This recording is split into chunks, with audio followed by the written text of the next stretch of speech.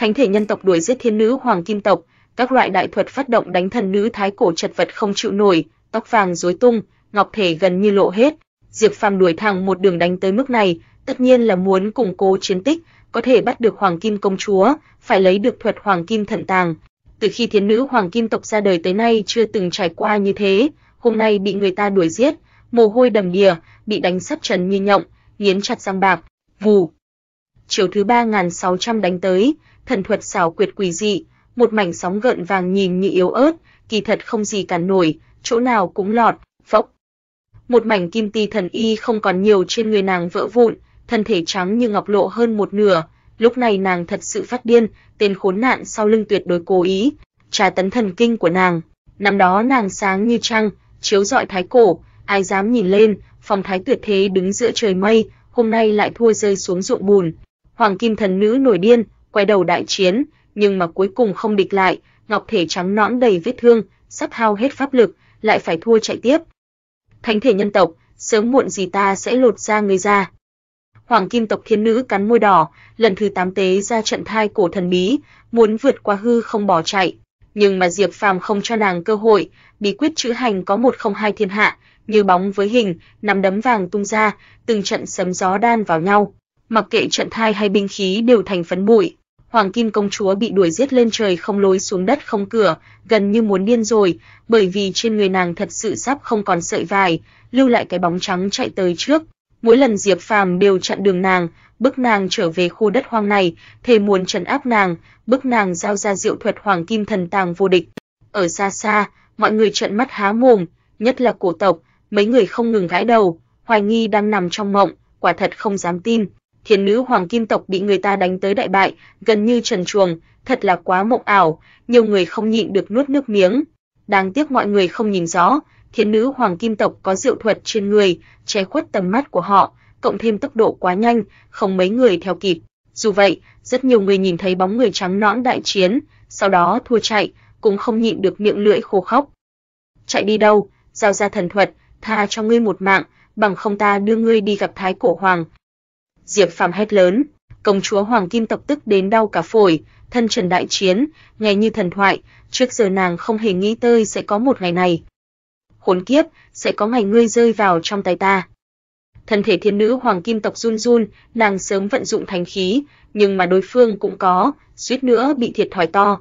Cơ thể nàng như ánh trăng đúc thành, trắng nõn sáng rọi, thần tắc trật tự hóa thành váy áo che chở vị trí trọng yếu, kim ti thần y toàn bộ hóa thành cho bụi, nhưng mà vô dụng, đối với với người có nguyên thiên nhãn thì nàng giống như trần trụi, đúng là một trận chiến khiến người ta phát điên. Nàng thật sự hy vọng có hoàng kim giản trong tay, một chiêu đánh tên khốn nạn này thành cho bụi, trước giờ chưa từng gặp kẻ đáng hận như thế, khiến nàng phải thân trần đại chiến. Sắc tức là không, không tức là sắc, cô đừng dụ hoặc ta, bổn tọa không để ý tới chuyện này. Muốn sống thì rất đơn giản, chuyện hoàng kim thần tàng cho ta, bằng không đây là nơi cô trốn thân. Diệp Phàm ra vẻ trang nghiêm, giả dối. Hoàng Kim công chúa rất muốn dùng chân ngọc đạp lên mặt hắn, nguyên rủa 100 lần, đạp hắn một vạn cái, đạp hắn thành đầu heo. Bởi vì khóe miệng khẽ nhếch của Diệp Phàm làm lộ ý nghĩ thật của hắn, tên khốn này tuyệt đối là cố ý. À, sớm muộn gì ta sẽ băm nát tên đê tiện nhà ngươi. Hoàng Kim công chúa tức đến cả thân thể ngọc ngà co giật, ầm. Nhưng mà Diệp Phàm công kích rất hung hãn, sát chiêu không dứt, một trận chiến kinh quỷ thần, gió rít quét qua làm ngọc thể nàng sưng lên, tóc cái dựng thẳng. Tuy rằng ra tay vô tình, nhưng trên mặt hắn tươi cười sáng lạn, trước sau không đổi sắc, trong mắt Hoàng Kim công chúa là loại cười đê tiện đáng hận nhất. Mọi người há hốc mồm, cũng có người cổ tộc xông lên cứu viện, nhưng đều bị Diệp Phàm đánh gục, căn bản không hề có tác dụng, mà càng nhiều người lựa chọn thờ ơ. Cái này, nhiều người hết chỗ nói, thánh thể nhân tộc không nói lý lẽ, đuổi giết một vị cổ hoàng nữ thân trần chạy trốn, đúng là quá thất đức mà. Thiên nữ hoàng kim tộc làm sao nuốt được cục tức này, đây là đại thù cả đời, lúc này không hề nghĩ tới giết Diệp Phàm, mà là muốn bắt tên tiện nhân này, ngược đãi hắn cả đời. Giết ngươi không đủ tiết hận của ta. Thiên nữ hoàng kim tộc tức giận dựng cả mái tóc vàng, mắt đẹp trừng to, sát khí xông thẳng lên trời, tràn ngập khắp nơi khiến nhiều người không nhịn được phát run. Thế thì ta giết ngươi vậy đầu chiến thành pháp của Diệp Phàm diễn hóa đến tận cùng, một tổ sát thức kinh thiên liên tiếp thi triển ra, trên tay hắn bay ra hàng vũ lô ánh lửa vạn trượng, chấn hoàng kim công chúa bay vụt ra, Tiếp đó, tay hắn phất lên, hóa ra hư không kính chiếu dọi tiên quang bất hủ, đánh thiên nữ hoàng kim tộc học máu. Tiếp theo, hai tay hắn vẽ lên, lại biến đổi phun ra thái hoàng kiếm sắc bén tuyệt thế, kiếm tiên hình rồng trấn áp cổ kim, suýt nữa chém đôi hoàng kim công chúa. Thiên nữ hoàng kim tộc rơi vào hiểm cảnh sinh tử, bị động nghênh chiến, cả người trắng trơn chói mắt, nàng tức giận muốn ngất đi. Đây là một trận chiến hộc máu, cả đời lần đầu hồi hận vì sao phải hỗ trợ Lý Vấn Thiên, sớm biết như thế thì tuyệt đối không chú ý tới tên khốn nạn này. Diệp Phàm đánh thuận tay, binh khí đại đế cổ lần lượt hóa sinh ra, quy luật tuyệt luân trấn áp xuống. Hoàng Kim công chúa luống cuống tay chân, nàng dự cảm không ổn, còn tiếp tục như thế thì sẽ bị bắt sống, đến lúc đó thì sẽ là sống không bằng chết. Diệp Phàm tự nhiên sẽ không lưu tình, đại chiến hôm nay coi như là một loại uy hiếp, biểu lộ quyết tâm của hắn ra bên ngoài, đánh cổ hoàng nữ tới thân trần bỏ chạy, còn có gì hắn không dám làm. Hoàng Kim công chúa dẫn người tới tìm hắn, hỗ trợ Lý Vân Thiên, trận chiến đấu này chính là Diệp Phàm phản kích và trừng phạt, đánh nàng mất hết chiến y gần như lõa thể. Ầm. Um. Rốt cuộc, Hoàng Kim thần tàng lại xuất hiện lần nữa, các binh khí hoàng kim xuất hiện, một thế giới sáng lạn đầy mây màu an lành. Thiên nữ hoàng kim tộc đang ở trong mảnh thần tàng giằng co với Diệp Phàm, dùng thần thức truyền âm, nàng bị buộc thỏa hiệp, thua là chuyện nhỏ, nhưng nếu đại chiến đến cùng, thật sự loại thân trước mặt đông đảo tu sĩ, vậy thì còn không bằng chết đi. Nàng là con gái của cổ hoàng, là một đời thần nữ thiêu kiều, danh trần thái cổ, không thể mất mặt mũi. Lúc này ngọc thể thon thả chớp sáng, răng bạc nghiến chặt đàm phán, phong thái tuyệt thế nhưng mặt phủ sương lạnh. Diệp Phàm tính toán, xem chừng viện binh cũng sắp đến, bởi vì thiên nữ hoàng kim tộc không chống lại, không ai giải cứu, sẽ có người đi mời tổ vương. Trong thời gian ngắn hắn muốn giết một cổ hoàng nữ là không thể nào, còn cháu thái cổ hoàng nếu liều mạng thì có thể chống đỡ một thời gian. Hắn đánh cổ hoàng nữ không còn sợi vải, là biện pháp bức nàng thỏa hiệp nhanh nhất, bây giờ đạt được hiệu quả, thiên nữ hoàng kim tộc đã sắp nghiến nát răng. Diệp Phàm không dám chậm trễ, đòi bí thuật hoàng kim thần tàng, khắc theo đạo ngân hóa ra một mảnh bảo tàng giống như thế, tạo ra thế giới binh khí đại đạo của mình. Hoàng kim cổ trung, đạo kiếm, thanh tháp, thiên đao, thần hoa sáng chói. Kỳ thật, Diệp Phàm còn muốn đàm phán một kiện thánh binh, nhưng mà Hoàng Kim công chúa nổi giận muốn ngọc đá cùng tan, chỉ ném cho hắn một kiện cổ khí cấp bán thánh. Công chúa, nói thật, ta kính ngưỡng cô như nước sông không dứt, không bằng chúng ta kết minh thì thế nào? Diệp Phàm nói. Vậy được, ta rất sẵn lòng. Hoàng Kim công chúa nghiến răng, ánh mắt vàng chớp sáng, đôi tay nhỏ khẽ run run, cô nén không sống lên. Cô và ta quả thật mới gặp đã quen, tương lai nhất định sẽ hợp tác, lần này quá vội vàng, lần sau mời công chúa uống trà ngộ đạo. Diệp Phàm chuẩn bị rút lui, ngoài ra, Hắc Hoàng ở xa đã truyền âm nhắc hắn phải đi, bởi vì cổ vương thành cấp đã sắp đến. Đúng rồi, công chúa đủ trượng nghĩa với ta, chỗ ta có một kiện thần ti ngọc y, tặng cho công chúa, không đủ kính ý. Diệp Phàm đặt một bộ bảo y giữa hư không, quyết đoán rút lui. Hoàng Kim công chúa nhìn chằm chằm cái bóng hắn biến mất, thiếu chút muốn đánh nát thiên địa này, một trưởng đánh bộ thần ti ngọc y không bao nhiêu giá trị này thành bụi. Thánh thể nhân tộc, ta thề sẽ không giết ngươi, nhưng mà ngươi hãy cầu nguyện đi, đừng nên rơi vào trong tay ta. A a. Mấy người Diệp Phàm biến mất không lâu, cánh cửa hư không mở ra, một vị cổ vương thánh cấp xuất hiện, thần uy quét qua thập vạn đại sơn, mắt lạnh như điện quét khắp nơi. Công chúa, ngài không sao chứ? Không sao. Hoàng Kim công chúa trực tiếp vượt qua hư không bỏ đi, nàng không muốn ở lại nơi này một giây nào nữa, thánh thổ, phần mộ, tất cả đều ném sạch. Tổ vương thái cổ ánh mắt chợt lóe, nhìn vào mộ phần như muốn ra tay, trong lòng đột nhiên rung động, lập tức xé mở hư không rời khỏi nơi này. Người nói coi, thật sự là thánh thể nhân tộc, đánh thiên nữ cổ hoàng tộc gần như loại thân, đại bại bỏ chạy. Quả thật là hắn, lại xuất hiện thế gian rồi. Xem ra thiên nữ hoàng kim tộc hận muốn nuốt sống hắn, ha ha. Trận chiến này truyền ra ngoài, mọi người trợn mắt cứng lưỡi, hóa thành cơn sóng truyền khắp thiên hạ, Diệp Phàm trở thành tiêu điểm bàn luận của mọi người. Bùm! Một tiếng nổ lớn vang lên, mấy ngày sau diêu quang cố điện tan vỡ, xuất hiện một cái vực sâu thật lớn, trào ra từng đợt tiên khí, hào quang tận trời.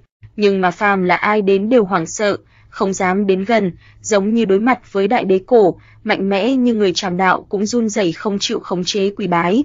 Diệp Phàm đứng ở xa xa, không đến gần, trong lòng rung động, cảm giác như có thứ gì đang kêu gọi hắn, có liên quan tới hắn. Không biết sẽ có mấy thánh giả tới, trời nơi này sẽ sụp xuống, tuyệt đối là khí cơ đại đế cổ. Hắc Hoàng tuyệt đối chắc chắn nói. Còn chưa đến lúc đi vào, phần mộ còn chưa mở ra hoàn toàn, chỉ lộ ra một góc núi băng mà thôi. Đoạn Đức nhíu mày khẽ nói, ánh mắt kèm theo một loại không yên lòng. Vạn đạo tiên quang, hàng triệu đạo ngân, đây mà vùng tai họa, nơi cao sụp xuống, mây khói mịt mù, nhưng mà mây màu không phải lúc nào cũng có, cách một thời gian phun một lần, đa số thời gian đều yên lặng. Mặt ngoài mộ phần đã nứt ra, phía trước xuất hiện một cái vực sâu thật lớn, tối đen làm tim người ta đập mạnh, khó mà nhìn tới đáy. Khi tiên hà bốc hơi có người đi vào nhìn thử, nhưng không nhìn ra được gì, chỉ tràn ngập khí tức khai thiên lập địa, vũ trụ tôn sùng. Nơi này có liên quan với đại đế cổ, đây là nhận thức chung của mọi người, bằng không căn bản không thể như thế, phàm là tới gần vực sâu, dù là vương giả đại thành cũng hai chân run rẩy, không nhịn được phải quỳ lại, thân tâm run sợ. Từ ngày đó, vùng đất cao giữa thập vạn đại sơn này không một tiếng thú, chim chóc run sợ không dám bay ngang, nhưng nếu có chim bay thú chạy ngang qua, đều sẽ bái lại nơi này, sau đó đi vòng qua. Diệp Phàm tự ngậm rốt cuộc là triệu hồi gì, làm cho tâm thần hắn không yên, nhưng không thể biết. Mấy ngày qua, có không biết bao nhiêu tu sĩ trong thiên hạ đến đây, làm cho Đoạn Đức cùng Hắc Hoàng không ngừng nguyền rủa, vốn muốn tự mình làm một vô lớn, nào ngờ toàn thiên hạ đều biết, thần triều Trung Châu, thánh địa Đông Hoang, Phật giáo Tây Mạc, yêu hoàng điện Nam Lĩnh, đều có cao thủ chạy tới, còn cổ tộc càng không phải nói, sớm chiếm cứ lợi địa thế. Hy vọng chúng ta lưu lại đường hầm có tác dụng, có thể chiếm trước tiên cơ. Long Mã nói. Bần đạo, tâm thần hơi không yên, không biết vì sao, nghĩ tới ta tung hoành lòng đất nhiều năm qua, chưa bao giờ thất bại, sao lại không yên như thế? Đoạn Đức lẩm bẩm. Người bớt nhiều lời, mau dùng hết bản lĩnh giữ nhà ra, xác định vị trí chính xác của tiên tàng. Ánh mắt Hắc Hoàng nóng bỏng, đây là cổ mộ đại đế cổ, lúc này thiên hạ đều biết, không sai được, trời mới biết sẽ dẫn tới nhân vật gì. Tổ vương thái cổ như ngọn núi lớn đè trong lòng mọi người, nơi này có rất nhiều người sầu lo. Có một đế mộ lớn như vậy xuất thế, thánh nhân cũng muốn đi ra. Diệp Phàm trở về, thế gian truyền đủ tiếng bàn tán, một trận chiến chém thiên hoàng tử, sau đó truy đuổi hoàng kim công chúa thân trần chạy trốn, gây ra sóng to gió lớn. Đến lúc này hắn cũng không phải sợ, nửa năm sau sẽ rời đi, tiên định sức mẻ có thể che giấu khí cơ, ngay cả thánh nhân cũng không thể suy diễn chuyện của hắn, nhưng mà vẫn phải làm chút phòng bị, nhất định có cổ vương thành cấp bất mãn hắn, nếu là hắn thì nhất định sẽ không chút lưu tình. Hắn biểu hiện quá chói mắt, tuy là người cấp đế tử, nhưng có ai dám nói thắng chắc được hắn, một khi trưởng thành lên, trừ mấy vị cổ hoàng tử ra, thiên hạ này có ai dám đối đầu. Rất nhanh, nháy mắt nửa tháng trôi qua, đế mộ càng sâu không lường, mỗi lần dâng lên tiên hà sẽ tràn ngập khí tức đại đế cổ, giống như có một vị cổ nhân sắp thức tỉnh. Đất cao sụp đổ, vực sâu mở rộng thành một cái hố trời, không thấy được đáy. Dù là thiên nhãn cũng không nhìn thấu, bởi vì phía dưới là từng đợt đạo ngân đan sen, thánh nhân cũng bó tay. Đúng rồi, truyền thuyết là thật, Diêu Quang Đế binh có lai lịch rất kỳ quái, không phải cảm động trời xanh mà tự nhiên đúc thành. Hôm nay, mộ phần đại đế cổ xuất hiện, rất nhiều bí ẩn xưa cũng bị thổi tan sương mù, những truyền thuyết cổ liền bị vạch trần. Long Văn Hắc Kim Đỉnh được gọi là kỳ tích vĩ đại nhất thế gian, trong năm tháng dài dòng, rốt cuộc hiện rõ chân tướng, là kỳ tích hay là thần tích. Một ngôi mộ lớn xuất hiện, tràn ngập khí tức đại đế cổ, dường như không cần nhiều lời, chứng thật những ghi chép trong giả sử. Thần kim màu đen quả thật là do Diêu Quang tìm được, nhưng mà có lẽ không phải là kết quả bọn họ cùng bái năm vạn năm, cũng không phải do các đời thánh hiền đời đời đúc thành, có liên quan tới đế. Trong đêm mưa cuồng phong rít gào, sấm vang chớp giật, có một vị đại đế phủ xuống, nghịch chuyển tạo hóa, dùng thần thuật cái thế đúc thành Long Văn Hắc Kim Đinh. Tất cả rất thần bí, tôn tại đế cấp xuất hiện giữa mưa to sấm sét khiến người ta càng nghĩ càng cảm thấy khó lường. Diêu Quang thành lập trên một ngôi mộ lớn, vốn đã đủ huyền bí, cuối cùng dưới tổ lãng có tồn tại vô thượng xuất thế, là tồn tại không thể tưởng tượng được. Mọi người suy nghĩ bay xa, thậm chí có chút sợ hãi. Đó là người hay quỷ, nếu là xây mộ chôn thân, làm sao còn sống xuất thế được. Từ xưa có bí văn, dùng thi chứng đạo, đó là một loại truyền thuyết hết sức xa xưa, chẳng lẽ là thật hay sao? Dưới Diêu Quang mộ phần có một tồn tại như thế. Nhưng mà thiên cổ xa xăm, nếu hắn dùng thi chứng đạo, coi như có lại sinh mệnh, nghịch thiên sống lại, làm sao vô danh trong lịch sử được. Long văn hắc kim đinh của Diêu Quang xuất hiện hơi trễ, để cho ta nghĩ một chút, tiến hành tính toán thế này, cuối cùng là gần thời đại đại đế nào. Nó trễ hơn hàng vũ lô, trễ hơn hư không kính, nếu thật sự có kế hoạch, dường như cách vị, khi mọi người suy đoán tới đây, mọi người giật mình, cảm thấy xương cốt lạnh run, biểu tình quái dị. Cái này, lại đề cập tới một vị trí tôn vang dội cổ kim, tịch mịch vô địch, mạnh tới mức trấn áp cửu thiên thập địa, làm cho tất cả kẻ địch trên thế gian im lặng không dám nói. Thời đại đó, không cách quá xa vô thủy đại đế, rốt cuộc có người nói ra lời này, khiến trong lòng tất cả tu sĩ dâng lên cơn sóng ngập trời, là thật sao, có liên quan tới vô thủy. Nếu là thật, đúng là đảo điên, khó mà tin được, nếu là giả, lại khó mà tìm một người khác, một tôn tại đế cấp khác, làm sao im lặng không danh tiếng. Phàm là xuất thể, đại đạo sẽ có cảm ứng, thiên hạ bốn bề tôn sùng, nhân đại đó cách nhau gần nhất, trừ vô thủy thì còn là ai? Không có nhiều khả năng, vô thủy đại đế lại dùng thi chứng đạo, không phải hắn chưa thành đế đã có những ghi chép hay sao, tay không đỡ đế binh. Chưa thành đế, đỡ được đế binh, ai có thể chứng thật, khi đó hắn quả thật chưa chứng đạo, có lẽ vừa đúng thuyết minh vấn đề lớn. Điều này, thật khó mà tin được. Rất nhiều người giọng phát run, một tòa mộ lớn xuất thế, liên lụy tới những bí mật hoang cổ, có thể sẽ đảo điên những chân tướng lịch sử. Vô Thủy Đại Đế là một bộ xác cướp cổ sống lại, nói ra ai cũng không tin, nhưng mà ngôi mộ này cùng niên kỷ với đế đỉnh của Diêu Quang sinh ra, làm cho giả thuyết này có một tia chân thật. Nếu là Vô Thủy, đời trước hắn là kỳ nhân cỡ nào, chẳng lẽ có thân phận càng xa xưa hơn, không thể tưởng tượng. Người dùng thi chứng đạo, đời trước còn có sinh mệnh thì làm sao là hạng người bình thường, nói không chừng cũng là một đời đại đế nhân tộc, vậy đó sẽ là ai? Nghĩ tới khả năng này, nguyên thần mọi người đang run rẩy, khu đất cao hoàn toàn đại loạn, mọi người rung động, suy luận này vừa đưa ra quả thật là cơn sóng lớn, khiến cảm xúc mọi người chấn động mạnh, dựng hết tóc gáy. Đó là không thể nào, vô thủy đại đế sẽ dùng thi chứng đạo, một đám đầu gỗ, căn bản không biết cái gì hết. Hắc Hoàng rất kích động, lập tức phủ quyết. Người tin tưởng sao? Diệp Phàm hỏi, ở bên cạnh, Diệp Đồng cũng có vẻ hiếu kỳ, nhìn chăm chăm Hắc Hoàng, hắn vô cùng hướng tới những chuyện về đại đế cổ, muốn biết những chuyện về họ. Đoạn Đức khó có khi nghiêm túc, thở dài. Tuy rằng có truyền thuyết dùng thi chứng đạo, nhưng căn bản không được, mơ hồ thiếu đi một đạo sinh khí tiên thiên, sẽ khiến tiên lộ thiếu khuyết, khó mà viên mãn. Xưa nay không có người thành công. Người khẳng định như vậy. Diệp Phàm hỏi. Đạo gia, ta là ai, đào hết cổ lăng thiên hạ, ta có thể không biết bí mật trong mộ hay sao? Đây là một con đường cụt, xưa nay không có ai thành công, lời người đấy nói, đều là nói nhảm. Diệp Phàm cổ quái nhìn hắn, lai lịch đoạn đạo sĩ này thần bí, không gì không biết, rốt cuộc có bối cảnh gì, đến nay cũng khó nhìn thấu. Một tòa mộ phần thường cổ, lộ ra từng trận khí đại đế, nó thần bí vô tận, mười mấy vạn năm trước trong đêm mưa đúc thành đế đỉnh, làm người ta khó mà nhìn thấu. Trong đại mộ, cuối cùng là ai đang ngủ say? Đã nhiều năm qua, chủ mộ có thể sớm thành cát bụi, hắn để lại, làm cho mọi người chờ mong. Đột nhiên, một đạo thần quang ngập trời phủ vùng đất cao, bóng người hùng vĩ xuất hiện, tóc tím xõa tung đưa lưng về phía mọi người, nhìn vào đại mộ, hắn đứng trên cao, làm người ta có ảo giác đối mặt với một ngọn núi thần, cao không thể với, chân nhũn ra, không ít tu sĩ không khống chế được phải quỳ xuống. Một vị cổ vương cấp thánh đến rồi. Quả nhiên, phần mộ đại đế cổ xuất hiện làm cho thánh nhân cũng ngồi không yên, chạy đến đây, bóng người hùng vĩ xoay người lại, đối mặt mọi người, tóc tím xõa tung, ánh mắt như hồ sâu, tối đen sâu thẳm, không ai dám nhìn thẳng. Là, Hoắc Thản, hắn thành thánh.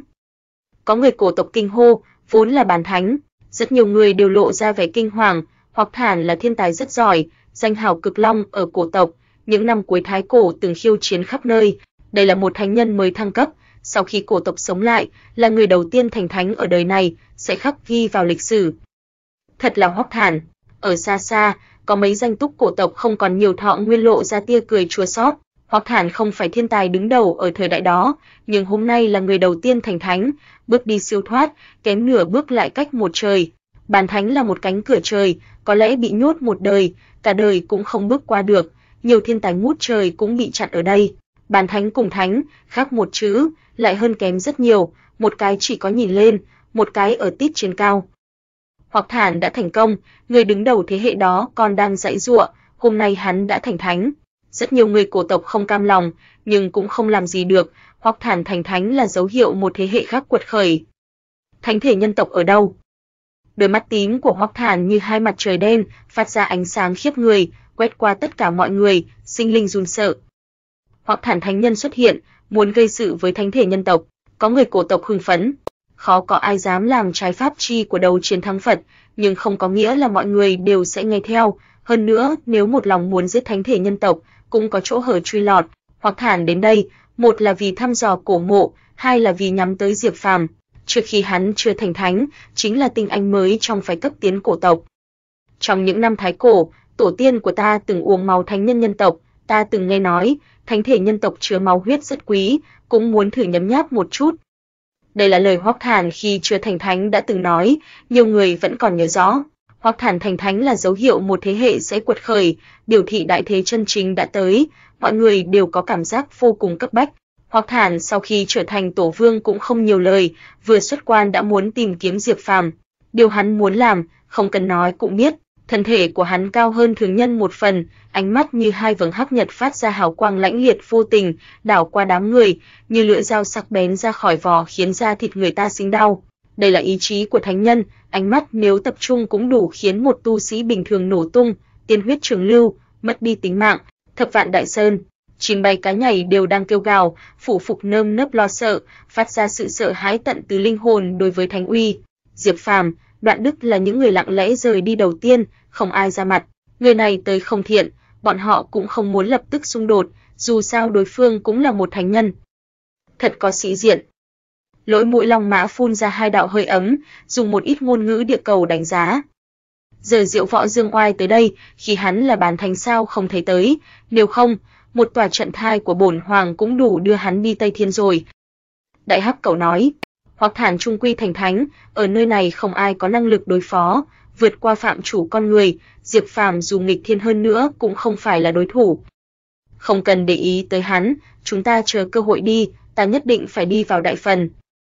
Diệp Phàm nói, có một loại kêu gọi không hiểu khiến tâm thần của hắn càng lúc càng không yên. Hoặc thản buông xuống, không gian nơi này lập tức rơi vào không khí khẩn trương vô cùng, mọi người không ai dám lớn tiếng, nhất là nhân tộc, ai cũng chụp dạ. Thánh thể nhân tộc ở đâu, nghe nói ngươi dũng quan thiên hạ, vì sao không dám xuất hiện, cuồn mình vào một xó xỉnh rồi sao?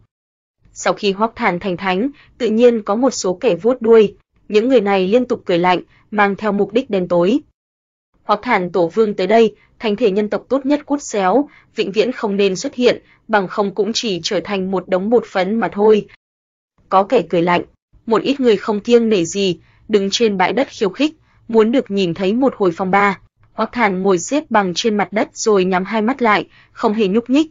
Tới cảnh giới bậc này, hắn tự nhiên sẽ không nhiều lời, bằng không lại có chút mất thể diện. Đại phần sắp mở ra, hắn nhắm hai mắt dưỡng thần, chờ đợi thời cơ tốt nhất, muốn là vị thánh giả đầu tiên tiến vào, thu lấy kỳ chân có một không ai, tiến thêm một bước, củng cố thánh vị. Tên khốn ngươi hãy chờ đó, sớm muộn gì bổn tọa cũng dùng một chân đạp chết ngươi. Lòng mã phận uất, hoặc thản tới đây, bọn họ buộc không thể không lùi xa, chỉ có thể dùng thủy tinh trận thai để quan sát. Mấy ngày tiếp theo, không ai dám tới gần nhập khẩu đại phần. Nơi đó phun ra ánh sáng sương mù, đủ loại tiên quang lượn lờ, chỉ có Hoắc Thản chịu đựng được áp lực, ngồi xếp bằng phía trước, có hắn ở đây, cũng không ai dám lên trước, không dám tranh đoạt với hắn, chỉ có thể ngồi im chờ đợi, cảm thấy vô cùng bất đắc dĩ. Hoặc Thản tổ vương nơi này, các ngươi tốt nhất hãy thối lui thật xa. Mấy người phía sau hắn liên tục cười lạnh. Ầm. Um. Ngày thứ năm, một tiếng chấn động mãnh liệt mang lên, trong cái hố thiên nhiên bắn ra vạn lũ đạo ngân, một cỗ lực lượng động lòng người quét khắp bốn phía. Thật thơm, phía dưới khẳng định có tiên dược, không ít người động dung, tiến lên quan sát. Trong đạo ánh sáng kia, cùng với khí tức đại đế cổ khiếp người, từng đợt từng đợt hương thơm tràn ra rất nhạt, nhưng thật khiến người ta suốt đời khó quên. Hoặc thản lạnh lùng quay đầu nhìn lại, cổ tộc còn dễ nhìn, vẫn chưa cảm thấy gì, nhưng một ít giáo chủ nhân tộc lại tâm thần chấn động mãnh liệt, há mồm học máu. vẹn vẹn chỉ là mâu quang quét qua, nhưng loại uy áp này khiến người ta không thể kháng cự được. Những lão giáo chủ sắc mặt trắng bệch, liên tiếp đạp chân lui về phía sau. Chúng nhân lặng ngắt như tờ, không phải là thánh nhân quả nhiên chi như cặn bá. Một đạo ánh mắt băng lành của Hoắc Thản quét qua đã khiến không ai chịu được. Trong lòng mọi người lập tức lạnh lẽo, thế này thì còn gì mà tranh đoạt. Trong lòng một vị thánh nhân có địch ý, căn bản không định cho nhân tộc tới gần, không phải hắn kiêng kỵ mấy vị lão thánh nhân nhân tộc thì chỉ sợ đã sớm đại khai sát giới rồi. Ông mầm. Ngày thứ 8 sau khi Hoắc Thản tới, đại phần băng toái, các loại thần quang sôi trào, hóa thành sóng biển trào ra, chiếc hố này lại rộng hơn nhiều lần. Có thể rồi, hẳn đã có thể đi vào. Đoạn Đức nói, mà hôm nay, trong lòng Hoắc Thản có cảm ứng, đi một vòng quanh cái hố thật lớn này, như hạ quyết tâm, rốt cục muốn động thủ. Làm sao đây, nếu không sai thì đây chính là phần mộ đại đế nhân tộc ta, sao có thể cho một tên thánh nhân cổ tộc vào trước được. Nhưng ai có thể ngăn được hắn đây, không thể làm khác được. Các lộ cường giả nhân tộc đều rất bất đắc dĩ, trước mắt, chỉ mỗi Hoắc Thản là thánh giả tới đây, đúng là đã vô địch, mọi người dù rất giận dữ mà không dám nói gì. Ta xuống nhìn một chút, các ngươi bảo vệ tốt nơi này.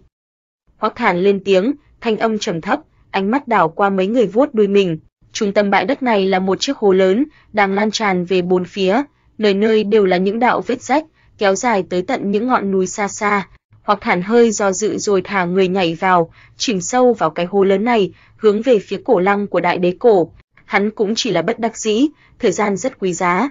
Nếu có một thánh nhân lâu đời tới đây, hắn dù tư chất ngút trời cũng chỉ là vô dụng, không thể không mạo hiểm xuất phát trước. Bần đạo có thể cam đoan nếu hắn xâm nhập vào, trong thời gian ngắn sẽ không thể trở lên, hơn nữa khu vực này sẽ không có vị tổ vương thứ hai nào. Ánh mắt đoạn đức lóe lên, người này xuất thân thần bí, tới hiện tại mà ngay cả Hắc Hoàng từng đi theo vô thủy đại đế mà không thể nhìn thấu. Thủ đoạn bảo mệnh của hắn có thể nói là siêu nhất lưu, hắn nếu nói như vậy, hơn phân nửa sẽ không sai. Diệp Phàm gật đầu, cất bước đi tới, triển khai bí quyết chữ hành, nhoáng cái biến mất rồi xuất hiện ngay trên bãi đất. Mấy ngày nay, Diệp Phàm từ trong miệng đám người cổ tộc đã sớm biết Hoắc Thản là người như thế nào. Hắn từng nói tổ tiên của hắn thời thái cổ từng nhấm nháp máu huyết thánh thể nhân tộc. Người vì ta mà tới, dù cảnh giới của ta không bằng nhưng cũng không có nghĩa là ta sợ ngươi. Diệp Phàm tự nhủ, sừng sững xuất hiện trước cái hố lớn này. Hắn vừa xuất hiện lập tức dẫn phát một trận rối loạn, tổ vương thái cổ vừa biến mất, thánh thể nhân tộc đã xuất hiện, có thể nói là to gan lớn mật. Ngươi, bên cạnh nơi này, mấy tên đi theo Hoắc Thản đều biến sắc, cảm thấy đại sự không ổn. Cổ Vương ở ngay phía dưới mà hắn không ngờ lại dám tới đây. Các ngươi vừa rồi nói gì? Khóe miệng Diệp Phàm hiện ra một lũ cười lạnh, mấy người này lập tức lùi lại, trong lòng cảm thấy buồn chồn. Bọn họ không ngờ Diệp Phàm lại có can đảm như vậy, lập tức bước tới muốn giải quyết bọn họ. Vừa rồi bọn họ châm chọc Diệp Phàm chi dám co mình vào một xó xỉnh, hết sức nhục mạ là muốn bức hắn xuất hiện, không ngờ hắn lại tới thật, đi. Bọn họ không phải thánh nhân, không thể đối địch lại Diệp Phàm, đi lên là hữu tử vô sinh, lập tức xoay người chạy trốn. Thậm chí có kẻ còn không quản sự nguy hiểm trong chiếc hố này, thà người nhảy vào vì thà như vậy còn hơn là đối mặt với thánh thể nhân tộc. Keng. Nhưng mà Diệp Phàm không cho hắn cơ hội, vận dụng bí quyết chữ binh, phản khống thanh thần kiếm trong tay hắn đảo ngược lại, kiếm nhận phong duệ liền xẹt qua cổ hắn, tiên huyết bắn ra.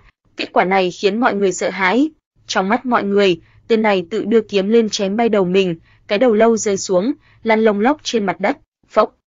Thanh kiếm lại chém xuống, cái đầu liền hóa thành hai nửa, nguyên thần cũng tiêu vong, hoàn toàn tử vong. Tạch ra trốn. Mấy người khác lập tức mặt xám như cho, vừa rồi còn có hốc thản làm chỗ dựa nhưng lúc này liền như chó nhà có tang, hoảng sợ vô cùng. Diệp Phàm làm sao có thể cho bọn chúng chạy trốn, dưới chân thi triển bí quyết chữ hành, hiện lên các loại đạo văn, hóa thành một tia chớp màu vàng, tốc độ đột nhiên trở nên cực nhanh. Hừ. Hắn như một đạo điện quang, chắn đường một tên bỏ chạy, đánh ra một quyền. Ầm một tiếng, tên cổ tộc này nổ tung, tiên huyết và cốt khối văng tung tóe. Xích.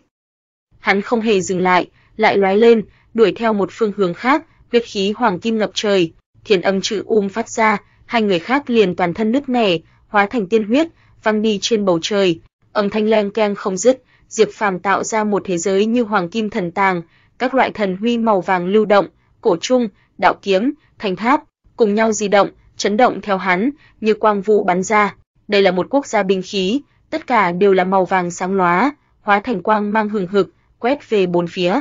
Mấy người còn lại lập tức kêu lên thảm thiết, bị chém thành huyết nê.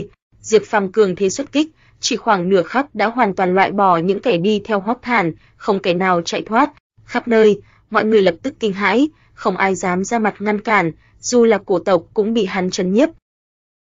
Thật to gan, không cố kỳ chút nào cả, Hoắc Thản vừa mới rời đi, hắn ở phía sau đã loại bỏ tất cả những kẻ dưới tay, không sợ gây thù chuốc oán với thánh nhân sao? Thật cường thế, giết sạch sẽ, Hoắc Thản hơn phân nửa sẽ nổ cả phổi.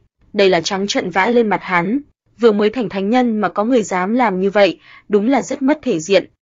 Ngay cả rất nhiều cường giả cổ tộc cũng không khỏi há hốc mồm miệng, cảm thấy sợ hãi. Thánh thể nhân tộc đúng là không thể dây vào, còn có gì mà hắn không dám làm đây. Đuổi giết thiên nữ hoàng kim tộc cho trần chuồng, lại khiêu chiến hoắc thản, thật đúng là cảm khái bất tận. Diệp Phàm trên ngang đi tới, không dừng lại lâu, lưu lại một đống máu me bé bét trên mặt đất, những mảnh chân cụt, tay rời vương vãi, nhìn rất ghê người. Ầm ầm. Đột nhiên, từ trong đại phần phát ra một tiếng vang nặng nề, rung chuyển kịch liệt, hoặc thản chật vật lao ra, tóc tai bù xù, toàn thân là máu huyết, lung lay sắp đổ, không biết hắn gặp phải điều gì mà do chóc thịt bong, xương cốt, huyết nhục lộ hết ra, toàn thân là máu. Hắn phù một tiếng rồi ngã xuống, há mồm thở dốc, nhập khẩu đại phần phun ra một mảnh tiên quang, một lúc rồi dừng lại. Thần huy đại đế lần nữa nội liễm, Hoặc Thản quay đầu nhìn lại, âm thầm thở phào một cái, nhưng ngay sau đó, hắn nhìn thấy thi thể thủ hạ mình, đường trưởng bạo nộ. Là ai giết bọn họ? Là thánh thể nhân tộc. Có người đáp. Thật không, ta vì hắn mà tới, đang muốn thịt hắn, không ngờ lại dám chủ động phạm ta, lần này, dù là đầu chiến thắng Phật cũng không có lý do mà che chở hắn nữa, ta giết hắn thì không ai có thể nói gì. Vẻ mặt Hoắc Thản hiện lên sự ác nghiệt, không hề vì những kẻ dưới tay mà bi ai, ngược lại còn hiện ra nụ cười âm lãnh. Tên khốn, ngươi không phải vội, sớm muộn gì cũng thịt ngươi thôi. Long Mã nói, kỳ thật đây cũng là những lời trong lòng Diệp Phàm muốn nói, hắn rất muốn trực tiếp khiến Hoắc Thản lưu lại, cho một vị thánh nhân ngã xuống. Ầm. Um. Đại phần lại vỡ ra, khí cơ càng mạnh, Đoạn Đức nhíu mày nói: "Ta cảm thấy có thể tiến vào." Ta cũng vậy, rốt cục trong đại phần có gì? Trong lòng Diệp Phàm rung động kịch liệt, hắn lần này cảm thụ rõ ràng có một vật trong cơ thể mình đang cộng minh. Năm đó, ở Nam vực, hắn cửu tử nhất sinh đi vào, thu được tiên duyên, hiện tại không ngờ gặp lại nơi này. Có lẽ, bởi vậy cũng có thể cho ra kết luận, xác định người trong đại phần là ai. Vạn vật mẫu khí đỉnh run rẩy, như có ý chí thần minh. Thần đỉnh với phong cách cổ xưa phát ra ánh sáng, ấn ký do thiên kiếp khắc lên như một sinh linh sống lại. Cùng lúc đó, tiểu nhân màu vàng nơi mi tâm Diệp Phàm mở mắt, nhiều năm qua, nguyên thần màu vàng này ôm tiểu đỉnh, đang ngộ đạo, tìm hiểu cổ kinh. Thanh đồng tiên điện, ta cảm ứng được khí cơ của nó. Diệp Phàm lộ ra thần sắc khó tin, tiền điện có thể di chuyển này luôn luôn du tẩu dưới lòng đất đông hoang, mỗi lần xuất hiện, vị trí đều khác nhau, là có liên quan tới bí tân vu tiên. Năm đó, hắn và cơ tử Nguyệt vô tình đi nhầm vào trong đó, cửu tử nhận sinh, gian nan đi ra, cũng chính từ nơi đó thu được nguyên căn vạn vật bộ khí. Nhiều năm như vậy, hắn cũng đã sớm quên đi nơi đó. Căn cứ theo ghi chép, mỗi lần xuất hiện, phải sau hơn vạn năm thanh đồng tiên điện mới hiện ra lần nữa. Là nó, không phải. Sương chán Diệp Phàm lóe sáng, xuất hiện điều điều thần văn, tiểu nhân màu vàng ngồi xếp bằng trong tiên thai đang run rẩy, chợt nhìn thấy một chữ tiên do máu huyết viết thành ở sâu trong tiên điện kia, là máu của đại đế cổ hay là máu của tiên trần chính. Địa phương này có rất nhiều bí mật, tường truyền một đời của độc nhân từng ở trong đó, đang tiếc lần lột xác cuối cùng thất bại, thân thể toái vỡ trong đó. Diệu Quang nhất mạch có người hiểu được bất tử thiên công, hiện giờ tiên điện có liên quan rất lớn tới độc nhân xuất hiện, như vậy, nơi đây đúng là đại phần của nàng ta. Diệp Phàm tự nhủ, vạn vật mẫu khí đỉnh của Diệp Phàm sao lại minh chiến, vì nó không phải là hoàn mỹ, còn thiếu thứ gì đó. Đây chỉ là nguyên căn mà không phải là toàn bộ tài liệu năm đó. Bên ngoài thanh đồng tiên điện có một tầng mẫu khí nặng như thái sơn, mãnh liệt mông mông khiến người ta hít thở không thông. Hắn mượn dùng miếng lục đồng, chiếm được nguyên căn tinh hoa, số thần liệu còn lại vẫn ở nơi đó. Độc nhân đại đế có thôn thiên ma quán, lại tìm được mẫu khí khai thiên lập địa, tất nhiên là muốn luyện ra binh khí càng mạnh mẽ hơn nữa. Nếu luyện thành tiên binh thì chắc chắn sẽ độc nhất vô nhị. Diệp Phàm vẫn dùng đạo xây dựng đỉnh cơ, mấy năm qua hắn vẫn từng mong muốn có thể thu lấy toàn bộ tiên liệu bên ngoài tiên điện để rèn luyện, khiến chiếc đỉnh của hắn đạt tới hoàn mỹ. Những mẫu khí kia không thể phân cách với đỉnh này, vốn chính là nhất thể, ta phải khiến chúng hợp nhất. Chỉ trong khoảnh khắc, hắn thấy được một tòa đồng điện thật lớn chìm nổi trong cái hố khổng lồ kia, mẫu khí lượn lờ, phát ra tiên minh, tuyên truyền giác ngộ, khiến người ta muốn ngộ đạo. Sư phụ người. Diệp Đồng khẽ gọi, vẻ mặt Diệp Phàm hơi mơ hồ, một lúc lâu mới khôi phục lại nói. Các ngươi không nghe được gì sao? Người nói gì?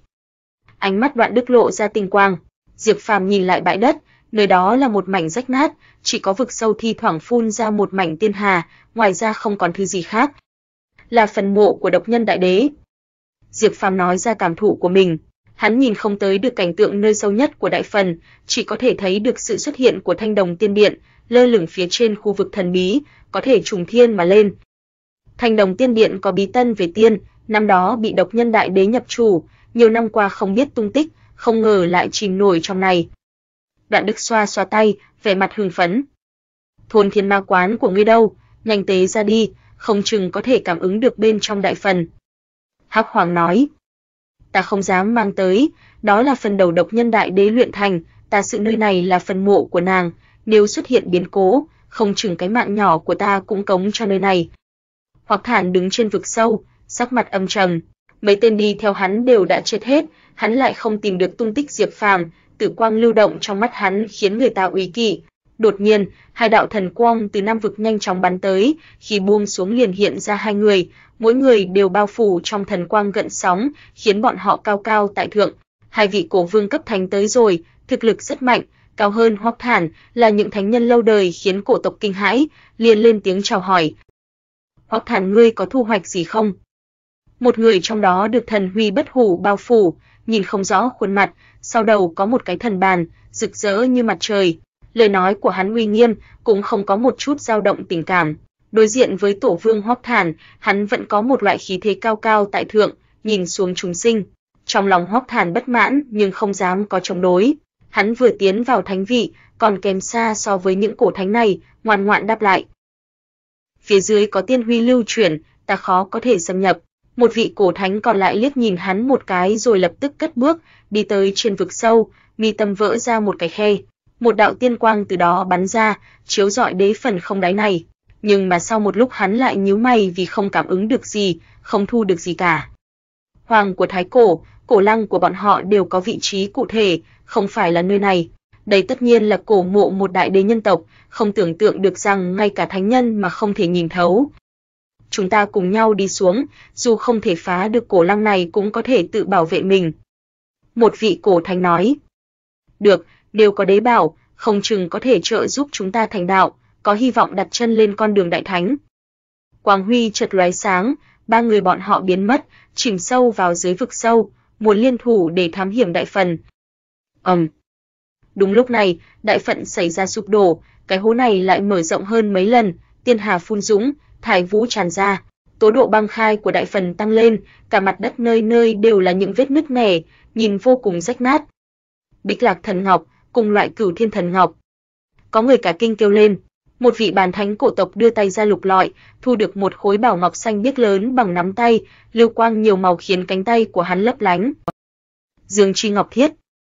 Một giáo chủ nhân tộc khoát tay, thu được một khối thần thiết lớn bằng nắm tay, trắng nõn không tì vết, lòng lánh, trong lòng đất bùng nổ, cự thạch phun ra, khiến không ít bảo vật bắn lên trên, ai ai cũng đỏ mắt. Trong đại phần đại đế này có rất nhiều bảo vật vô lượng.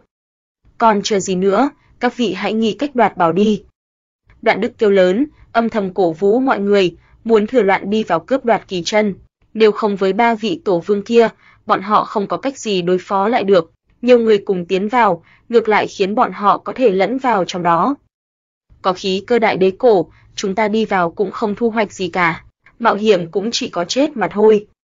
Có người nói, không sao, sau mỗi lần phun ra tiên hà đều có một khoảng yên lặng, chúng ta chỉ hành động ở khu vực an toàn, cướp lấy thần liệu là được, không xâm nhập sâu sẽ không sao. Người chết vì tiền, chim chết vì thực, Dương Chi Ngọc Thiết, Bích Lạc Thần Ngọc xuất hiện khiến bán thánh cũng khó có thể ngồi yên, huống hồ là người khác, ai ai cũng đều động tâm.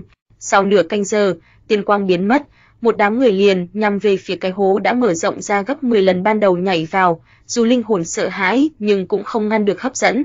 Ngay sau đó, pháp bảo đầy trời, các loại bí khí lộ ra, chúng tu sĩ xuất ra để hộ thân, tiến vào đại phần. Ngoài ra còn có thanh khí cường đại, phát ra thanh âm như sóng thần xuất hiện. Đây là một đám thế lực tuyệt đỉnh xuất động, dùng chúng để mạnh mẽ tiến vào. Nhiều tu sĩ cổ tộc, nhân tộc, yêu tộc xuất hiện, chìm sâu xuống vực sâu, đi thôi, chúng ta cũng đã đến lúc hành động rồi, nếu không thật đúng bị người ta nhanh chân cướp hết. Hắc Hoàng nói, đoạn đức đi trước dẫn đường, đây là một mật đạo, thông qua một ầm mạch trong lòng đất, nối thẳng đại phần. đây là cái bọn họ đã chuẩn bị to trước. Mặt trên sôi trào, bắt đầu đánh nhau rồi. Sau khi tiến vào hố sâu này, nhìn lên phía trên mấy người nhìn thấy đủ loại pháp bảo va chạm, vẫn thạch thành phiến như từ thiên ngoại bay tới, đan vào hình thành một hồi quang mang đại hủy diệt. Mưa sao, không phải, đây là máu, có của nhân tộc, cũng có cổ tộc. Đoạn Đức đưa tay lên lau đi chất lỏng trên mặt, phía trên là màn mưa máu, thì thoảng có thi thể rơi xuống, cũng có pháp bảo tàn phá, nổ tung, sớm thành một mảnh đại loạn. Trung tâm bầu trời có một cái mộ khanh rất thâm thúy, sâu không thấy đáy. Nơi đó mới chân chính là đế phần, Dương Chi Ngọc Thiết, Bích Lạc Thần Ngọc, Đại La Ngân Tinh thường xuyên từ trong loạn thạch bắn ra, tiên quang sáng chói. Đây là, có chuyện gì, đúng là có vô số chân hy. Cửu Thiên Thần Ngọc và Đại La Ngân Tinh đúng là những thần liệu mà thánh nhân phải động tâm. Những toái khối không phải nhiều nhưng có thể nhìn thấy một ít, lóe ra thủy hà, trong lòng đất như có một tòa quạng mỏ với tiên liệu thừa thái. Trời ạ, đây là một khối tiên địa hỗn độn lưu lại từ thời khai thiên lập địa, các ngươi xem có cả ánh sáng mờ mờ dâng lên. Trong lòng Hắc Hoàng rung động, dựa theo phỏng đoán của nó, vạn vật mẫu khí của dung nham vị diện chính là tìm được ở địa phương này, là tinh hoa tiên căn dựng dục từ trong tiên địa hỗn độn này. Trong không gian to lớn này, dù là lớp bên ngoài cũng có kỳ chân, ngoại trừ tiên căn vạn vật mẫu khí, Bích Lạc Thần Ngọc, Đại La Ngân Tinh cũng chỉ là sinh ra ở bên ngoài rìa mà thôi, chỉ là những thứ phụ mà thôi cũng chỉ như là những linh thảo sinh dưỡng bên ngoài chân long huyệt mà thôi, những thứ quý báu nhất tất nhiên là chân long trong huyệt, nhưng đối với phàm nhân mà nói cũng rất quý hiếm. Đoạn Đức nói, trong lòng hắn cũng cảm thấy ngứa ngáy, đây chính là một khối tiên địa hỗn độn, phía dưới hơn phân nửa sẽ có một tiểu thế giới hỗn độn, bên trong chắc chắn sinh ra thần chân, hận không thể lập tức lao vào. Các ngươi có cảm giác được không, nơi này có sinh cơ cường đại, những thứ tiên quang đều là từ trong tiểu thế giới hỗn độn tràn ra, đây đúng là một thần thổ tuyệt thế. Hắc Hoàng kinh thán, theo như nó nói, Vô Thủy Đại Đế cũng từng muốn xây dựng một đế trung mạnh nhất, từng đi khắp thiên hạ, thậm chí nhiều cổ tinh chính là muốn tìm kiếm một tiểu thế giới hỗn độn có sinh cơ, tìm được tài liệu thích hợp nhưng vẫn không có kết quả. Cuối cùng, Vô Thủy Đại Đế đi tới phía Tây Tần Linh ở Trung Châu, ở ngoài Hóa Tiên vực tìm được hỗn độn thạch, mới từ trong đó luyện ra tiên liệu cần thiết. Đoạn Đức nói: Đại Đế luyện hóa hỗn độn, sáng lập tiểu thế giới là chuyện dễ dàng, nhưng muốn từ trong hỗn độn tìm được sinh cơ thì rất khó. Những thứ sinh ra ở trong hỗn độn đều là trí bảo, muôn đời hiếm thấy. Thần điện này là một khối tiên thổ hỗn độn hiếm thấy, nếu đi vào không chừng có thể tìm thấy được thứ có giá trị vô lượng. Đồng. Tiểu Uyên ở trung tâm nơi này phát ra ánh sáng mờ mờ, có một kiến trúc cổ xưa đang chìm nổi, ngăn chặn ngập khẩu, không cho ai đi vào. Khí cơ đại đế cổ tràn ngập, nếu ai tới gần gần như lập tức tan xương nát thịt, may mắn trong cơ thể Diệp Phàm phát ra lục quang minh mông, tạo thành một mảnh cuồng sáng bảo hộ mấy người vào trong, bằng không, nếu không phải là thánh nhân, căn bản không thể tới đây. Đứng ở vị trí thích hợp, Diệp Phàm, Đoạn Đức, Hắc Hoàng đều lộ ra dị sắc, ba vị thánh nhân cổ tộc toàn bộ bị chắn nơi này, đang lâm vào hiểm cảnh sinh tử. Một tòa đồng điện cổ xưa phát ra quang huy minh mông đang chìm nổi trong đáy tiểu uyên, ở đại môn nó phát ra lực hút cực mạnh, tiên quang vạn đọa, muốn nuốt ba người hoắc thản vào trong, cường đại như ba vị cổ thánh mà vẫn khó có thể ngăn cản được. Diệp Phàm run rẩy, đúng thật là nó, mấy chục năm sau, hắn lần nữa gặp lại Thanh Đồng Tiên Điện. Trong lòng Diệp Phàm dậy sóng, hắn gặp lại cự cung to lớn luyện chế từ đồng thau, làm hắn nhớ tới cơ tử Nguyệt, nghĩ lại đủ chuyện đã trải qua khi hai người tiến nhầm vào nơi này. Tại địa phương này, mảnh lão đồng trong cơ thể hắn đặc biệt mẫn cảm, lại bị kích thích như năm đó, lập tức thức tỉnh. Nơi này vô cùng đáng sợ, đồng điện có liên quan tới tiên nơi này như có sinh mệnh, hoàn toàn khác lúc trước, giờ tự chủ phát sáng. Ba vị cổ thánh không thể thoát vây, quy mô của nó to lớn như một ngọn núi nhỏ, không biết phải dùng tới bao nhiêu đồng thau để tạo thành, giờ đã loang lổ, hiện rõ dấu vết của năm tháng. Những dấu vết này rất rõ ràng, hiện lộ ra sự tang thương của thời gian, nhưng cũng không ảnh hưởng tới sự mỹ lệ của nó ức vạn đạo tiên quang bắn ra, kết thành đạo ngân vô thượng, dày đặc. Đây là muốn luyện hóa ba vị cổ thánh, bọn họ đều đang gào thét, đang dừng trước nhập khẩu đồng điện, dùng tới đạo hạnh một đời chống đỡ, miễn cưỡng không bị hấp thu. Diệp Phàm còn nhớ rất rõ, năm đó hắn và cơ tử Nguyệt tiến vào đồng điện này thì không khí bên trong rất trầm lặng, làm sao có cảnh tượng bực này, khi đó nó như một phần mộ, không có tiên quang và đạo ngân, nếu không cũng đã không có cách gì còn sống đi ra. Đồng điện cổ xưa này có liên quan tới đại bí mật nghịch thiên của Vu Tiên, Đoạn Đức nuốt một ngụm nước miếng. Nó, không ngờ xuất hiện ở trong đại phần của độc nhân đại đế, xem ra thật sự có quan hệ rất lớn với nàng. Đôi mắt hắc hoàng tỏa sáng, lần này, cổ mộ băng khai có thể có liên quan trực tiếp tới thanh đồng tiên điện, chính là khí cơ của nó phát ra khiến đất đá nơi này nứt nẻ, rồi toàn bộ sụp xuống, tạo ra một cái hố sâu này. So với thanh đồng tiên điện, thân thể ba cổ thánh thật như một con kiến. Do đồng điện này quá lớn, còn đang phát ra tiên quang vô tận. Hiển nhiên, mấy người Diệp Phàm cũng bị bọn họ phát hiện. Đồng tử trong hai mắt hoắc thản như hai hắc nhật, tối đen mà thâm sâu, phát ra từng đợt ô quang, có một loại khí thế cao cao tại thượng, như nhìn xuống một con kiến. Đáng tiếc hắn không thể thoát vây, không thể tiến về phía này, càng không nói tới chuyện ra tay. Mấy người Diệp Phàm, Đoạn Đức, Hắc Hoàng không hề sợ hãi, ba người kia tự thân khó bảo toàn, bị cố định nơi đó, còn thoát được hay không vẫn là điều khó nói. Mẫu khí, nhiều như vậy sao? Bốn vó long mã phát ra quang hỏa, vòng quanh đồng điện ở xa xa, bộ dáng như thừa hại tinh lực, Diệp Đồng cũng há to mồm miệng, lộ ra thần sắc khó tin nói. Sư phụ, cái đỉnh của người là từ nơi này mà có sao? Độc nhân đại đế thật khó lường, mở ra một mảnh tiên địa hỗn độn, chẳng lẽ muốn tạo ra một tiên binh mạnh nhất hay sao? Nhiều mậu khí như vậy luyện đỉnh, cứ tinh luyện lặp đi lặp lại, một kích của nó, ai có thể ngăn cản?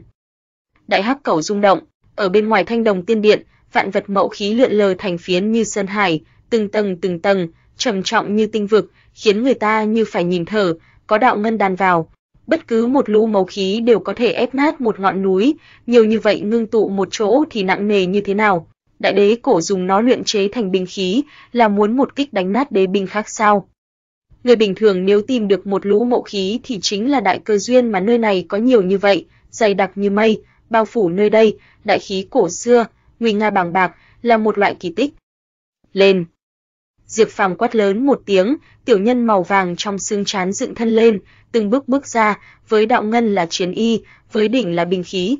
Vạn vật mẫu khí đỉnh lơ lửng trên đầu tiểu nhân màu vàng này, nó há mồm phát ra một tiếng kêu, tiểu đỉnh nhanh chóng phóng lớn, bay về phía trước, bắt đầu như kình hấp ngưu ẩm, thu nuốt mẫu khí như hải kia. Người dám, hoặc thản giận dữ, cuối cùng biến sắc, khó có thể chấn định nổi. Nhiều vạn vật mậu khí như vậy, dù mất đi nguyên căn nhưng cũng là thần liệu khó tìm trên đời. Nếu thu được thì đúng là tạo hóa nghịch thiên. Điều quý giá nhất tự nhiên là binh khí của đại đế cổ, mà những mậu khí này chính là đại đế nhân tộc chuẩn bị để luyện binh, giá trị không thể cân nhắc. Hai tên cổ thánh còn lại cũng biến sắc nhưng hữu tâm vô lực, tự thân hắn còn khó bảo toàn, làm sao đi ngăn cản được. Thánh thể nhân tộc, người giết thuộc hạ của ta, đoạt tạo hóa của ta, đại cừu này, nếu thoát vây, ta sẽ giết ngươi cả trăm lần, dù là đầu chiến thắng Phật cũng không thể bảo vệ được ngươi đâu. Hoắc Thản lạnh lùng rít lên. Chờ ngươi thoát vây rồi hãy so đo, hiện tại, ta không rảnh tiếp ngươi, tìm cho ta một chỗ thanh tịnh đi. Diệp Phàm không để ý nói. Lúc này, tâm tình của hắn rất tốt, dùng đỉnh hấp thu rất nhiều mẫu khí, tiến nhập vào trên thân đỉnh, luyện thành nhất thể. Bí quyết chữ binh được vận dụng, chiếc đỉnh trôi nổi trên đỉnh đầu hắn, leng canh rung động, mẫu khí như vạn sông đổ về biển, ép cho cho hư không vặn vẹo, sụp đổ, hợp nhất với đỉnh, không còn phân cách. Vạn vật mậu khí từ nay về sau hợp nhất, tài liệu đế binh của độc nhân muôn đời hiếm có. Hoắc Thản đỏ mắt giống giận không ngừng. Đỉnh là tinh túy mậu khí, lúc này hợp nhất với đại lượng mậu khí, tàn mát ra dao động sinh mệnh, như sắp sửa sinh ra ý chí thần linh. Người có mệnh thu đi nhưng không có mệnh sử dụng đâu. Hoắc Thản căm giận gào rít, hắn tràn ngập không cam, sát khi lộ rõ không hề che giấu. Nếu có thể hành động, hắn sẽ lập tức ra tay, nghiền nát Diệp Phàm Trành cho bụi, dù chết cũng không hề thấy tiếc nuối. Ngươi không có cơ hội này đâu, dù ngươi trở thành nhân vật cấp thánh nhân, nhưng cũng không cam đoan không ngã xuống, vẫn hãy cứ để ý tới cái mạng của ngươi đi. Diệp Phàm cười nói, hắn cũng căn bản không thèm để ý, không gì khiến người ta kích động hơn chứng đạo chi khí trở nên hoàn mỹ. Đỉnh của hắn như trăm sông đổ về biển, đang hấp thu tất cả mộ khí, đạo ngân đan vào nhau. Tên khốn nạn kia, cái miệng của ngươi tốt nhất nên ngoan ngoãn chút đi, bằng không bổn tọa đạp cái là mất cả hàm răng đó. Long mã khinh thường nói, nó vừa rồi nâng chân lên như chuẩn bị sẵn một cú đá hậu, muốn ném đá xuống giếng khiến Hoắc Thàn nuốt hận mà chết trong thanh đồng tiên điện. Dừng tay. Đoạn Đức lập tức ngăn cản nó, để nó không hành động thiếu suy nghĩ. Đồng điện này phát ra ức vạn lũ tiên quang, dù là tổ vương cũng có thể bị hút vào, bọn họ nếu tùy tiện ra tay, lỡ bị hút vào trong cũng sẽ vô cùng phiền toái. Loại cân bằng này không thể đánh vỡ, nếu bọn chúng liều mạng xông ra thì mạng nhỏ chờ mà vất đi. Hắc Hoàng cũng nói, Diệp Phàm thu công, vạn vật mậu khí đỉnh không biết đã nặng hơn bao nhiêu lần, cũng may hắn sớm luyện hóa nó, sức nặng này vẫn nằm trong phạm vi chịu đựng của nó. Hiện tại nếu ném nó ra ngoài, dù không dùng pháp lực chỉ sợ cũng đủ đánh cho địch thủ bình thường nát thành bột mịn.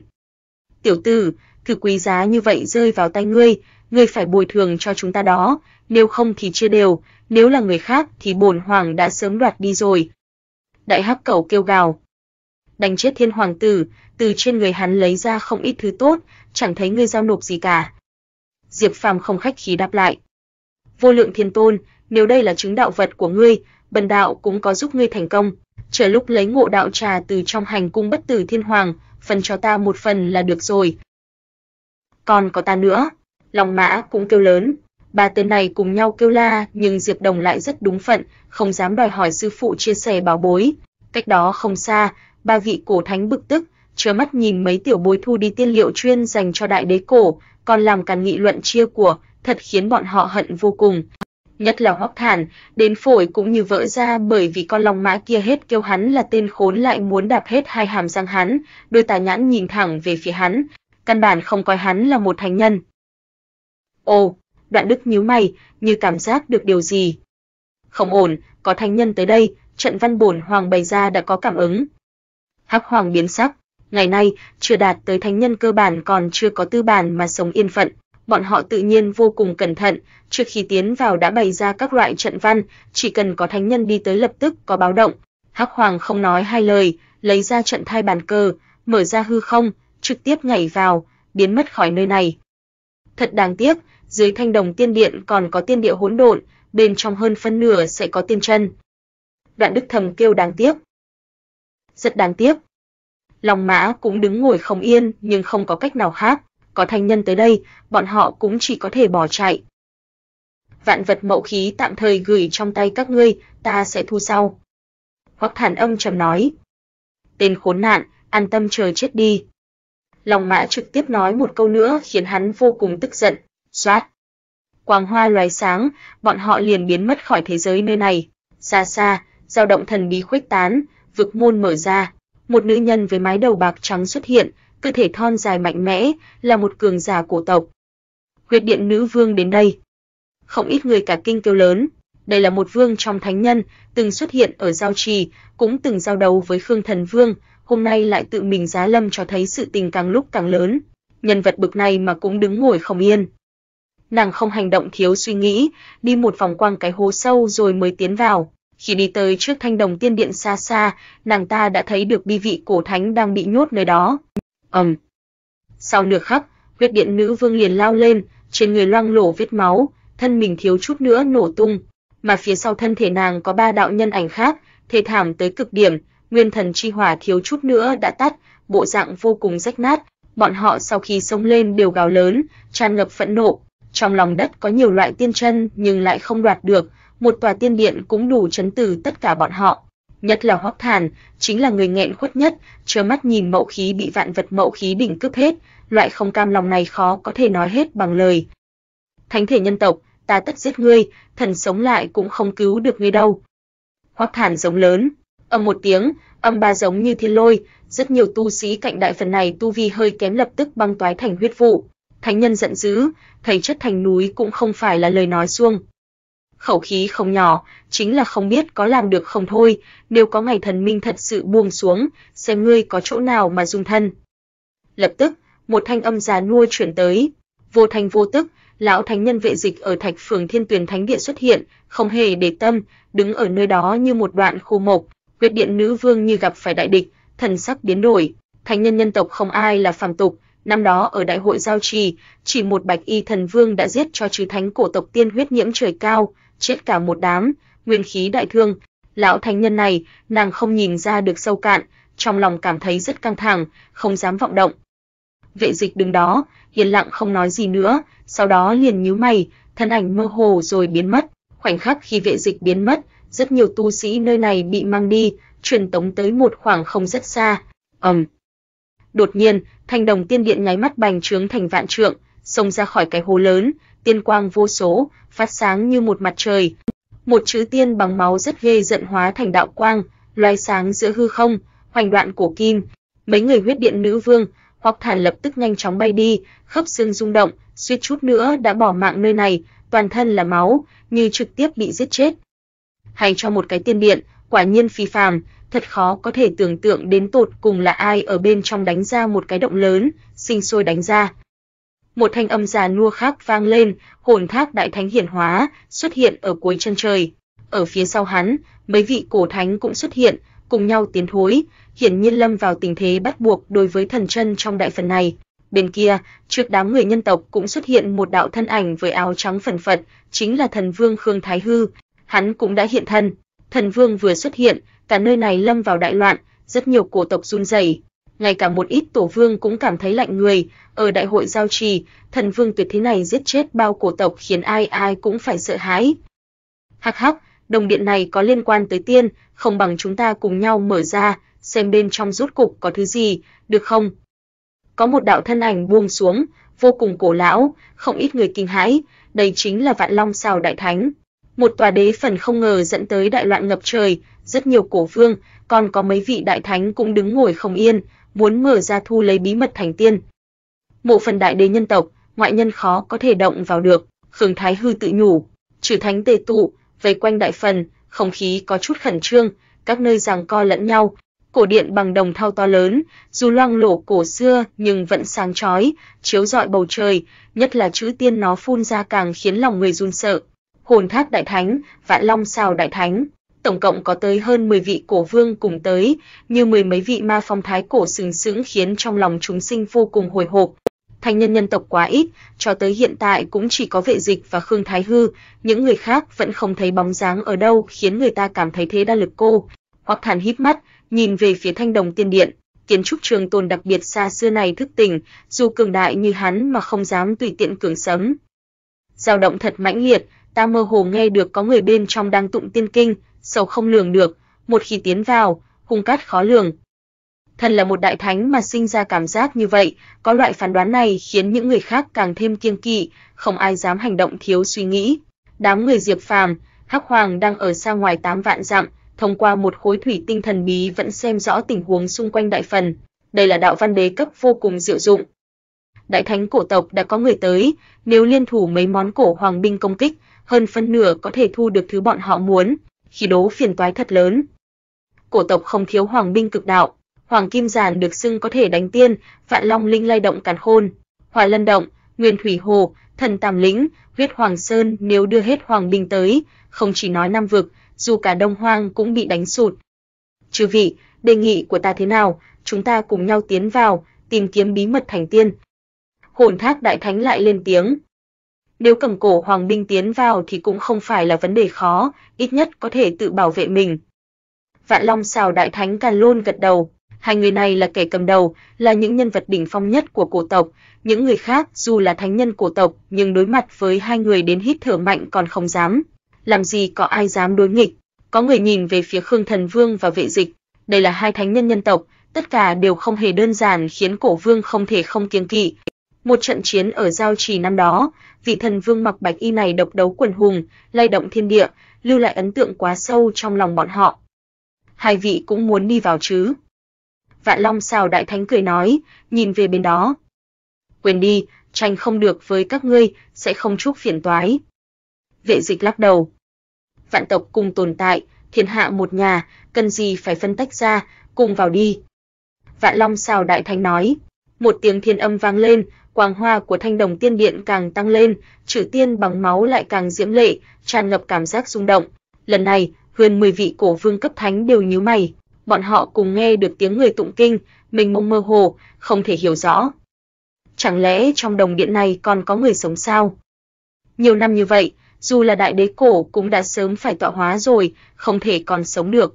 Chẳng lẽ nơi này thật sự liên quan tới tiên sao? Ta ngửi thấy được mùi vị tiên huyết, trừ tiên này ít nhất cũng phải là do đế huyết ngưng tụ mà thành, thậm chí có thể là tiên huyết. Hồn Thác Đại Thánh nói, bất kể là cái nào cũng tuyệt đối gây rung động. Đại đế cổ, ai có thể thương tổn bọn họ, với máu huyết của mình khắc nên chữ tiên, đây chính là một loại khinh nhờn, mà nếu là tiên huyết thì càng thêm khó tin. Ở ngoài tám vạn dặm, Diệp Phàm nhíu mày, năm đó hắn từng nhìn thấy chữ tiên này, chẳng lẽ là máu của độc nhân viết thành sao, không giống lắm. Ở phía sau chữ tiên này có một cánh cửa thần bí, hắn chỉ mới đi tới đó mà không thể tiến vào vì chỉ tiến thêm mấy bước, hắn chắc chắn phải chết. Để những tu sĩ bình thường lui ra, nơi này sẽ có một hồi đại họa, không ai lưu được lâu đâu. Nơi này đột nhiên xuất hiện một lão nhân ốm yếu, từ trong bóng tối nói với Khương Thần Vương và vệ dịch. Hắn vừa xuất hiện, hồn thác đại thánh và vạn long xào đại thánh càn lôn đều không thể chấn định, trên mặt tràn ngập ngưng trọng. Cái cửu u đã tới, khiến bọn cảm thấy vô cùng áp lực. Thần Vương Khương Thái Hư gật đầu, đại đế của ai là người phàm, ai dám đào mộ bọn họ. Giống như ở từ sân kia, ai cũng biết vô thủy đại đế chôn trong đó, nhưng nhiều năm như vậy, vẫn không ai dám tiến nhập. Năm đó, mấy món đế binh công kích, nhưng cuối cũng vẫn chỉ có thể bại lui. Có không ít đại nhân vật tới nơi này, khắp nơi không còn có thể bình tĩnh được. Những tu sĩ bình thường bắt đầu rút lui, đây cũng không phải là cuộc chiến đơn giản. Nếu phát sinh thành chiến, đừng nói mấy vạn dặm, dù cả năm vực cũng sinh linh đổ thán. Bất kể là nhân tộc hay yêu tộc hay là cổ tộc đều rất thức thời, bắt đầu lùi ra xa. Mọi người nếu muốn quan sát đều cần dùng pháp trận chi nhãn để quan khán, bằng không một khi có biến cố phát sinh thì những tu sĩ bình thường đều chỉ yếu ớt như con kiến mà thôi. Thật là náo nhiệt. Lại có cổ thánh tới, từ chốn cũ diêu quang có một đạo kim quang bắn tới, đại thánh hoàng kim tộc xuất hiện, mang theo hoàng kim giản, cổ hoàng uy tản mát ra khiến thanh đồng tiên điện cũng hơi rung chuyển, tiên quang hừng hực, Hoàng Kim Vương nhìn thoáng qua cái cửu u rồi nhìn về phía vệ dịch và Khương Thái Hư mà không nói gì. Sau khi bại dưới tay đấu chiến thắng Phật khiến hắn trầm thấp một đoạn thời gian. Lần này mang theo Hoàng Kim Giản tới nơi này, muốn bù đắp lại tổn thất thần thủy vô giá mà hắn mất đi. Lại một vị đại thánh tới rồi, nếu muốn giao tranh thì đều phải luân động cổ hoàng binh, Nam vực còn có thể bảo trụ sao? Mọi người lo lắng, ngay cả Khương Thần Vương và vệ dịch cũng nhíu mày. Nhiều đại nhân vật như vậy tế tụ, đại biểu cho chiến lực cao nhất ngày nay. Có thể nói sự tình càng lúc càng lớn, những tu sĩ mạnh như bán thánh căn bản cũng không có tư cách tham dự, đều rút đi sạch sẽ. Không lâu sau, nơi này chỉ còn lại thánh nhân. Ầm. Um. Thanh đồng tiên điện phát ra tiếng gầm rú, thanh âm đại đạo càng lớn hơn, như thật sự có một vị tiên đang giảng kinh, tuyên truyền giác ngộ, muốn người ta ngộ đạo. Đây là, ta thiếu chút nữa đã hóa đạo một vị tổ vương thọ nguyên sắp hết, chỉ còn sống được khoảng thời gian ngắn nữa kinh hãi. Đây là một thánh nhân già cả, da lông toàn thân dựng hết lên, keng. Hoàng kim giản phát ra một tiếng nổ vang, hóa thành một đạo thần mang bất hủ, có thể chém xuống cả nhật nguyệt, tinh tú, muốn phá hủy sinh linh vạn vật, khí cơ cổ hoàng thức tỉnh. Cùng lúc đó, một tiếng chuông vang lên, thần linh từ kim nhiều không đếm được đan vào nhau, hình thành một con chân long, lắc đầu quậy đuôi, cuốn lượn giữa hư không, vạn long linh, mỗi chuông đều là một long cốt, thanh âm vừa vang lên, cửu thiên thập địa đều như vỡ tan, có lực lượng khai thiên lập địa.